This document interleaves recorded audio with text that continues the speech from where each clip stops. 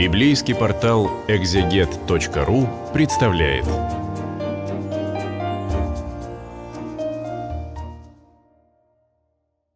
Здравствуйте, меня зовут священник Иоанн Тирауц, и мы продолжаем с вами разбирать послание апостола Павла к Коринфянам для библейского портала «Экзегет». В предыдущих главах мы с вами говорили о том, что апостол Павел обращает внимание на неустройство в Коринфской церкви, которую он основал и который испытывал большое, большую любовь, теплоту, нежность а, и старается исправить все те недостатки, которые возникли.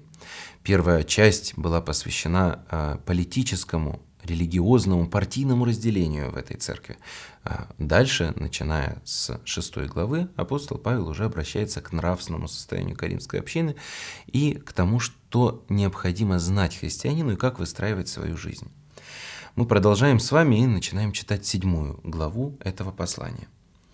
«А о чем вы писали ко мне, то хорошо человеку не касаться женщины – но во избежание блуда каждый имей свою жену, и каждый имей своему, своего мужа. Апостол Павел встречается в Каримской общине явно с одной проблемой, что есть особенно ревностные христиане, которые считают, что э, замужество или вообще, в принципе, брак не просто не нужен уже христианской общине, а он вреден, и каждый должен оставить это. Апостол Павел говорит, да, Хорошо человеку не касаться женщины, но во избежание блуда каждый имеет свою жену и каждый имеет своего мужа. Это констатация или декламация понятия того, что моногамный союз является идеалом для христианского брака. Несмотря на то, что вокруг э, жителей Каринфа могли быть очень разные примеры, в том числе измен, наложниц – для христианина так не следует действовать. Тему блуда э, апостол Павел поднимает еще в предыдущей главе, а здесь он уже касается понятия брака. Муж, оказывая жене должное благорасположение, подобное жена мужу. С каким великолепным чувством так-то апостол Павел подходит к этой щепетильной теме.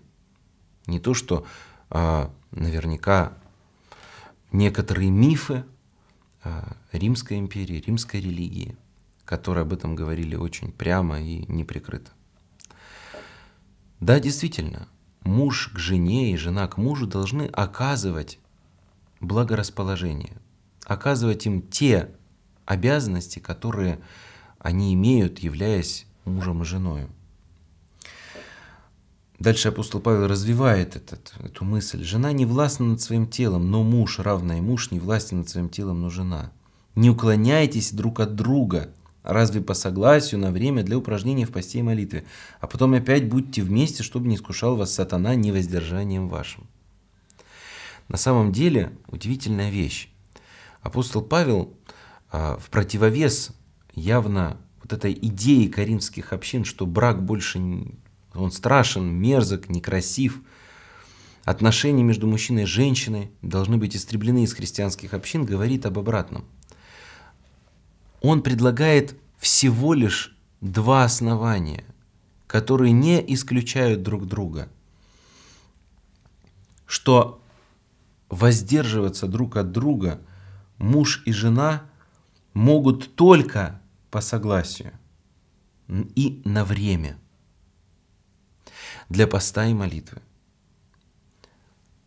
По согласию и на время. Оно не должно быть длинным, потому что вновь необходимо будет быть вместе, чтобы не искушал сатана невоздержанием. Ибо длительное воздержание могло привести к нехорошим последствиям, к изменам, прелюбодеянию, а, а также ко всякого рода грехам плоти, которые, может быть, и не касаются а, отношений с другими женщинами, мужчинами на стороне.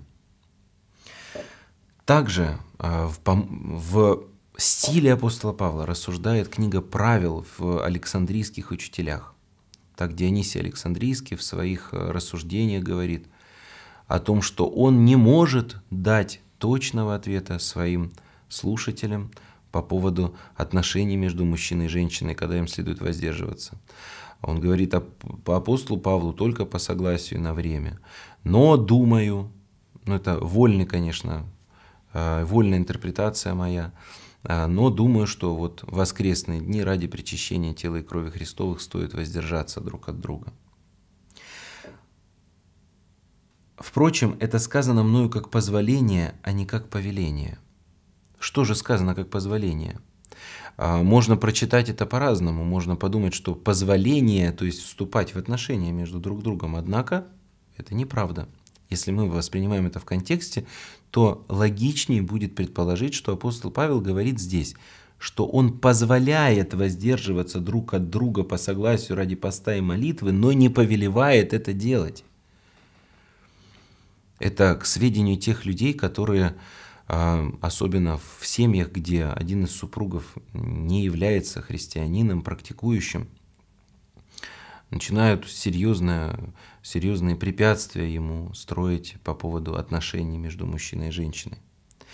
Простите за такие, может быть, достаточно откровенные а, разговоры, но сама глава призывает нас к этому, чтобы мы с вами постарались разобраться, не закрывали на это все глаза, потому что это часть нашей жизни. Ибо желаю, чтобы все люди были как я, но каждый имеет свое дарование от Бога, один так, другой иначе.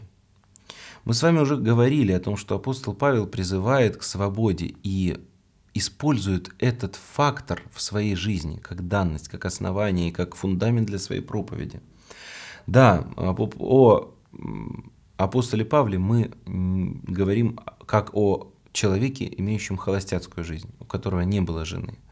И поэтому он мог себя посвятить в большей степени служению церкви, служению проповеди.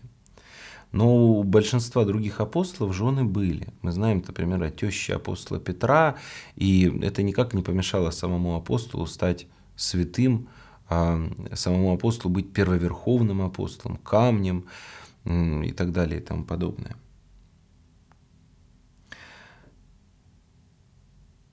Безбрачным же и вдовам говорю, хорошо им оставаться, как я, но если не могут воздерживаться, пусть вступают в брак, ибо лучше вступить в брак, нежели разжигаться. А вступившим в брак а, я, не я повелеваю, а Господь, жене не разводиться с мужем. Если же разведется, то должна оставаться безбрачной или примириться с мужем своим, и мужу не оставлять жены своей. Обратим внимание, апостол Павел говорит э, свои слова к вдовам и безбрачным. Если вы можете терпеть, если вы видите в себе эти силы, не вступать в брак, не просто, точнее, не вступать в брак и жить целомудренной жизнью. Здесь, кстати, употребляется понятие э, воздержания и не разжиг... если ты не будешь разжигаться, если это не будет занимать всю твою жизнь, все твои мысли, то оставайся в таком же состоянии. Это благо и хорошо, и апостол Павел похваляет это. Но если не можешь, то вступай в брак. Брак в данном случае может восприниматься не только как союз двух, не только как очень важная школа любви, но и как лекарство от э, греховных помыслов, от греховных движений – от греха, который присущ человеку. Опять же, если женщина разводится со своим мужем по тем или иным обстоятельствам, то должна оставаться безбрачной, либо же примириться с мужем. И мужу не оставлять жены своей. Это очень важный момент. Дело в том, что в иудейских общинах существовала практика, когда э, жену можно было привести в дом отца и отказаться от нее, дав ей разводное письмо. Притом оснований для этого было целая масса. А здесь нет. Оказывается, брак должен быть вот таким, постоянным, длительным.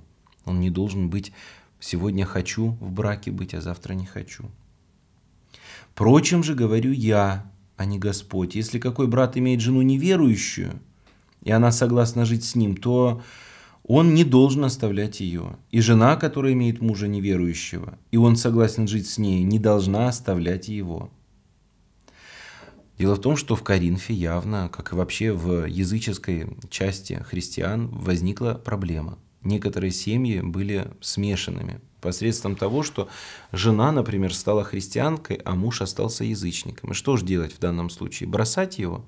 Здесь опять же вспоминается Ветхий Завет, особенно книги Ездры и Неемии, когда э, для смешанных браков предполагался развод и оставление детей. Если, например, э, еврей имел иностранку жену, из другого племени или, например, э, другой веры, то он должен был оставить ее и детей отправить вместе с ней и больше с ней не жить. То здесь апостол Павел говорит об обратном. Какой брат, то есть член общины церковной, имеет жену неверующую, и она согласна с ним жить, то э, он не должен оставлять ее, не искать повода для развода. Дальше он подтверждает это следующим аргументом. Ибо неверующий муж освящается женой верующей, и жена неверующая освящается мужем верующим. Иначе дети ваши были бы нечисты, а теперь святы. Что значит освящается? Неужели вне Христа возможно спасение? Здесь есть масса разных комментариев на данный текст, но давайте с вами поразмышляем на эту тему. Что значит освящение? Термин освящение не всегда касается святости, а иногда э, э, какой-то привилегированности. Так мужу лучше быть с женой а, верующей, нежели с женой неверующей, потому что верующая жена привносит все-таки христианскую благовестие и христианский образ жизни в семью. Даже иногда э, муж не вполне разделяет ее взгляды, не верит во Христа, но, по крайней мере, у него есть больше шансов уверовать, чем у того, кто не имеет этой а, прекрасной возможности, прекрасной связи дети ваши были бы нечисты, а теперь святы. Да, действительно, если бы э, мы мыслили теми порядками, которые были в Ветхом Завете, то детей нужно было бы отправить вместе с женой и развестись с нею, а здесь нет. А дети, а, родившиеся от брака, в котором есть один хотя бы из супругов верующий, тоже имеют это положение привилегированное, более, может быть, близкое к церкви, нежели дети, рожденные в абсолютно э, языческих семьях или атеистических семьях. Атеизм встречался и в эпоху античности. Если же неверующий хочет развестись, пусть разводится. Брат или сестра в таких случаях не связаны. К миру призвал нас Господь. А дело в том, что бывали случаи, когда в семье терпеть верующую жену или верующего мужа было невозможно а, язычнику, и поэтому он требовал развода, и тогда апостол Павел этот развод позволяет. Главное, чтобы мы сохраняли мир. Но вопрос возникает, а в таком случае можно ли а, вступать во второй брак? На этот а, вопрос нету здесь ответа, и поэтому есть два предположения, что нет, нельзя, и вполне возможно, что тот человек обратится снова, и вы сможете воссоединить ваш союз. Либо же да, можно. Есть и такие предположения. Или ты муж, Почему знаешь, не спасаешь ли жены? Только каждый поступай так, как Бог ему определил, и каждый, как Господь призвал. Так я повелеваю по всем церквам. Призван ли кто обрезанным, не скрывайся. Призван ли кто не обрезанным, не обрезывайся. Обрезание – ничто, и не обрезание – ничто, но все в соблюдении заповедей Божьих. Дальше апостол Павел плавно переходит от темы брака к теме внешнего, э, внешней религиозности. Для Ветхого Завета важной составляющей являлось обрезание. Когда рождался мальчик, на восьмой день он должен был быть обрезан. Такое повеление Господь дает Аврааму. И с времени Авраама, это фиксируется еще и законом Моисеевым, оно продолжает жить как часть культуры, религиозной культуры Ветхозаветной Церкви. Но для обновленного человечества во Христе Иисусе внешняя атрибутика религиозности не является решающим фактором. Наоборот, а, Господь зрит не на наше обрезание или не обрезание, а зрит на нашу душу и на исполнение заповедей Божьих.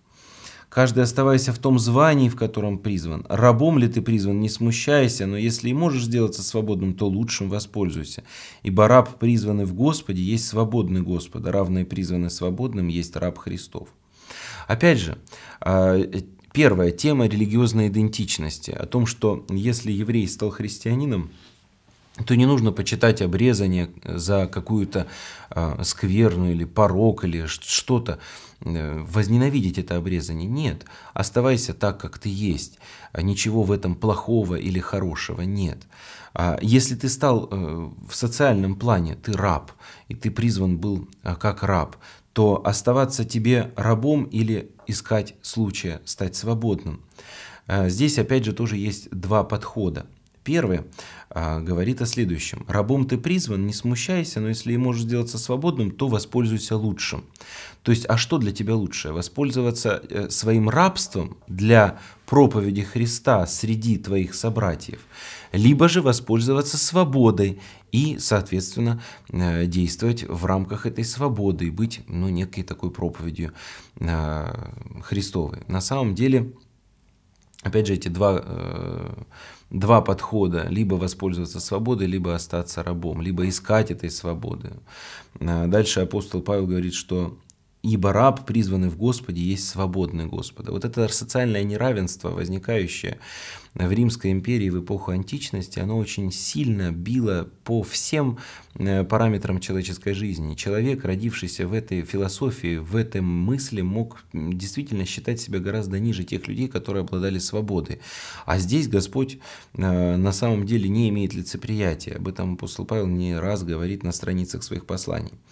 Вы куплены дорогою ценою, не делайтесь рабами человеков. В каком звании кто призван, братья, в том каждый оставайся пред Богом.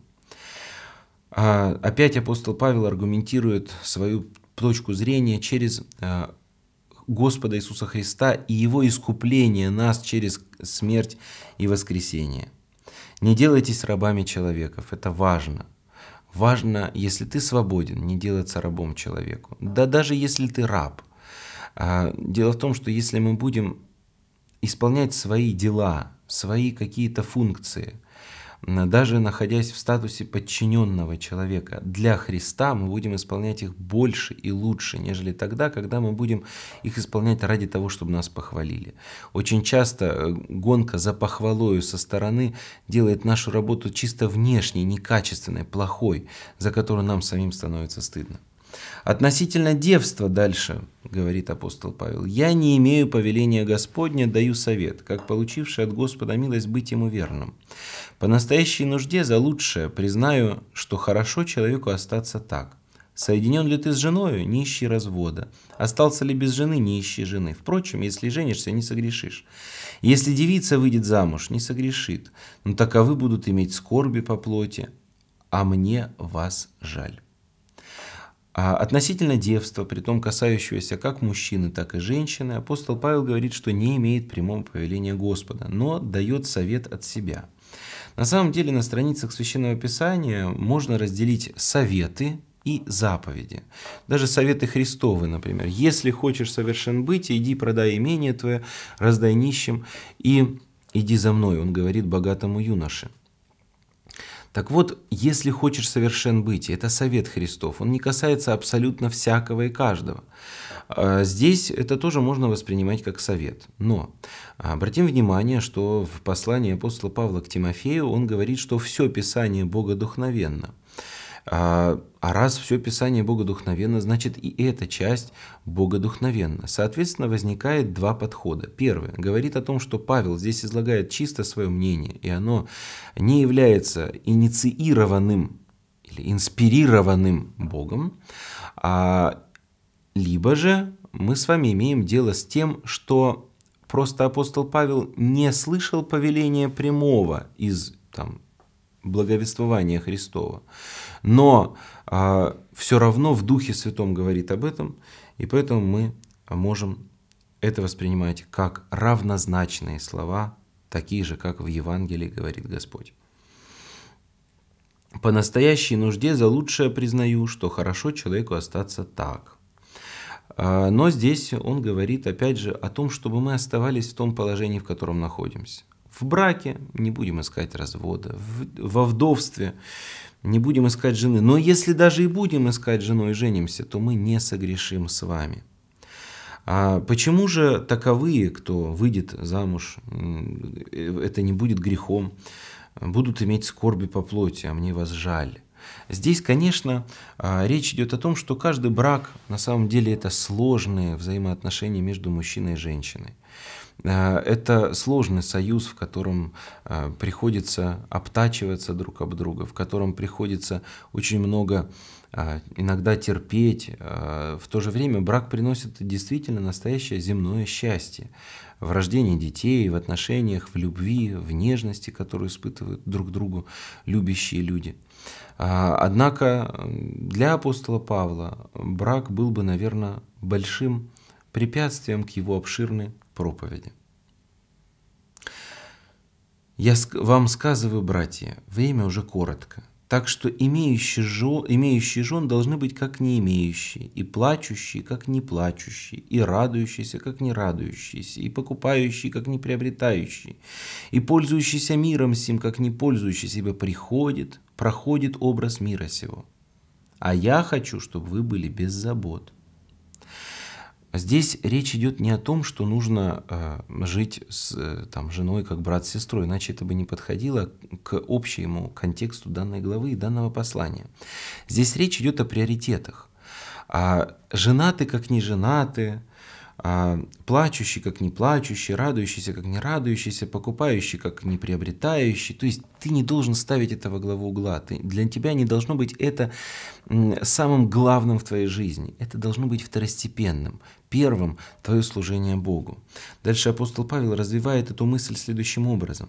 Не женаты заботиться о Господнем, как угодить Господу, а женаты заботиться о мирском, как угодить жене.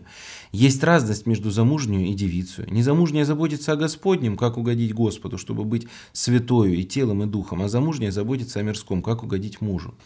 А на самом деле, а, конечно, в контексте этой главы мы видим, апостол Павел не осуждает брак, не осуждает отношения между мужчиной и женщиной в браке. Нет, это хорошо, это нормально, это в рамках э, промысла Божия о человеке. Но он констатирует понятный факт. Когда ты не обременен браком, твои возможности в плане масштаба проповеди больше – нежели тогда, когда у тебя есть заботы о жене, детях и так далее. То же самое касается женщин.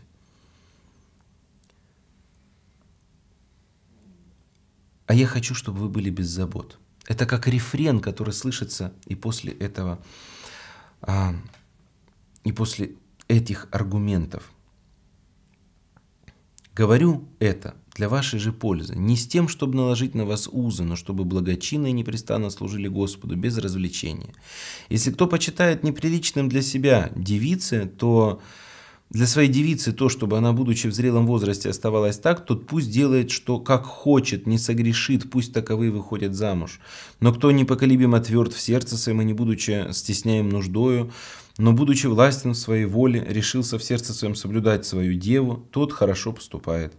Посему выдающий замуж свою девицу поступает хорошо, а не выдающий поступает лучше. Жена связана законом, доколе жив муж ее. Если муж ее умрет, свободно выйти за кого хочет, только в Господе. Но она блажение, если останется так по моему совету, а я думаю и, имею, и я имею Духа Божия. А здесь а, достаточно темная сторона этой, этого, этой главы, темная для толкования, а, потому что есть различные подходы, в том числе, что соблюдает свою девицу, то есть свое девство. Также есть предположение, что здесь речь идет об отце и его дочери, потому что статус социальный отца в семье был настолько велик, что он мог решать, э, вступать ей в брак или не вступать ей в брак. Это, конечно, далеко от сегодняшней нашей культуры. Э, но нам необходимо помнить об этом, э, читая тексты Священного Писания. А, посему мы с вами э, можем перейти к следующему стиху о том, что жена, которая стала вдовой, может вступить в брак, но только в Господе. Здесь речь идет о том, что если ты уже, являясь христианкой, ты должна вступить в брак с христианином. Уже брак с инослав... иноверным человеком для тебя закрыт. Это же было впоследствии включено в состав канонов церкви, и сегодня а, женщина или мужчина не могут, христиане, вступать в брак с людьми другой веры. А, ну и также, конечно, здесь апостол Павел говорит о том, что лучше бы ей остаться так, остаться вдовою. Но опять же он здесь предоставляет максимальный горизонт возможностей для своих читателей, для своих духовных чат. На этом заканчивается седьмая глава первого послания апостола Павла к Коринфянам. В следующий раз мы с вами будем говорить о восьмой главе этого послания. Храни вас их Господь. До новых встреч!